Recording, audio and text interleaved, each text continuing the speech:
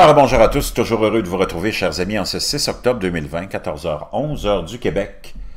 Imaginez-vous, hein, la Californie est aux prises avec des incendies historiques, et maintenant c'est la région de Napa Valley qui est euh, dévastée.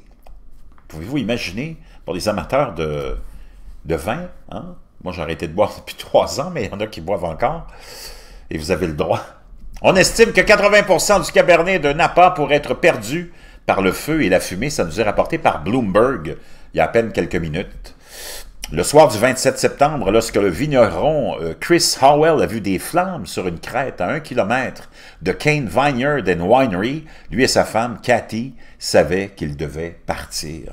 Quelques heures plus tard, Kane a été englouti par le dernier incendie de la région, le feu de verre de Glassfire, hein, le fameux Glassfire qui est contenu à peu près à 45 qui s'est depuis métastasé en un groupe d'incendies connu sous le nom d'incidents de feu de verre, de glass fire.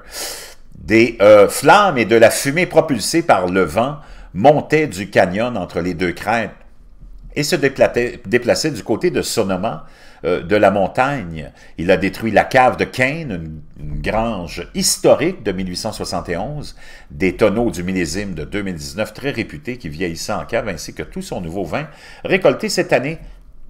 Howell a passé 30 ans ici dans le domaine de la Napa Valley, sur Spring Mountain. Il a bâti la réputation de la cave avec Kane 5, un mélange de cabernet innovant, pardon, il dit qu'environ un cinquième du vignoble escarpé de 90 acres avec des vues spectaculaires et à tomber par terre a l'air bien. Cette semaine, il évaluera le reste et espère une bonne saison de croissance 2021. Kane est un lieu, pas un bâtiment, dit-il philosophiquement. Comme beaucoup d'autres vignons de Napa cette année, il ne publiera aucun vin 2020. 2020 est mon nouveau juron de quatre lettres à envoyer un courriel à Thor Kenward, propriétaire de Thor Wine, j'ai vécu 43 récoltes avec des tremblements de terre et des incendies, et cela a été la plus difficile de toutes. Il ne fera pas trois de ces cabernets à vigne unique habituelle. Il espère que de bons taxis seront fabriqués quelque part dans la vallée, mais il dit qu'il n'y en aura pas beaucoup.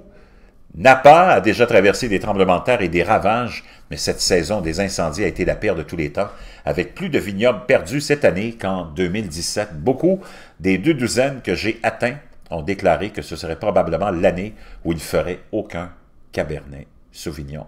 Spring Mountain, éloigné lors des incendies de, épargné pardon, lors des incendies de 2017, a été durement touché. Les victimes comprennent Newton Vineyard, propriété de LVMH, réputé pour ses cabernets à vignoble unique et ses magnifiques jardins.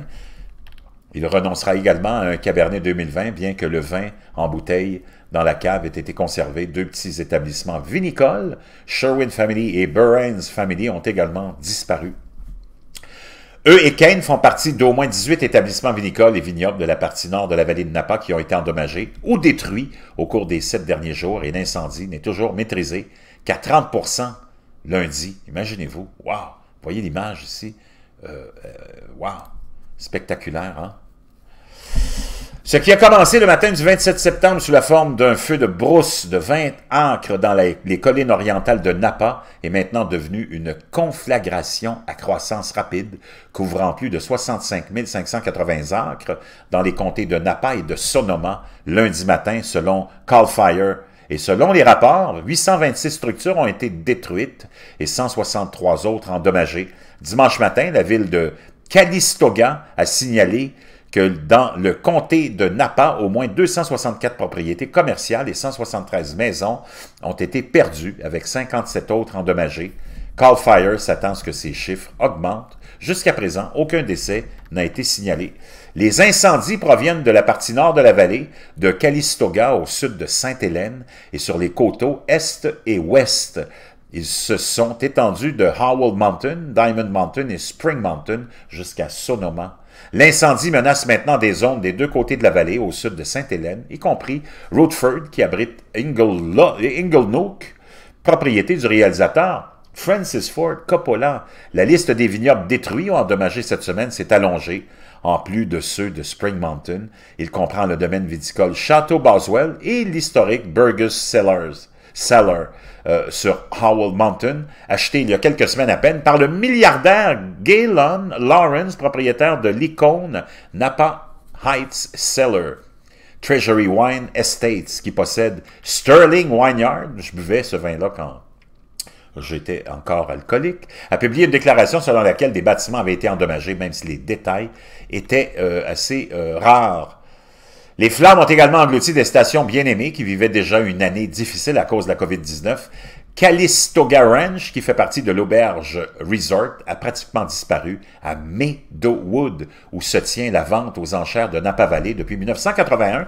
Les le restaurant et ses trois étoiles Michelin sont un tas de cendres et de gravants.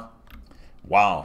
Et ça continue comme ça, c'est vraiment une sombre perspective. Hein. Des milliers de personnes étaient sous évacuation obligatoire, y compris euh, Calistoga, une grande partie de Sainte-Hélène et des vignobles sur les côtes ouest et ouest. Lundi, donc hier, les habitants rentrent à Calistoga. À leur risque et péril, la zone d'évacuation est étendue au sud et au nord. Vraiment, vraiment, une année. Et j'aime bien hein, ce que nous dit un euh, une des victimes ici, un des propriétaires de, de vignobles qui nous dit « 2020 est mon nouveau juron de quatre lettres. » Aïe, aïe, aïe, c'est vraiment 2020, je l'avais dit, hein?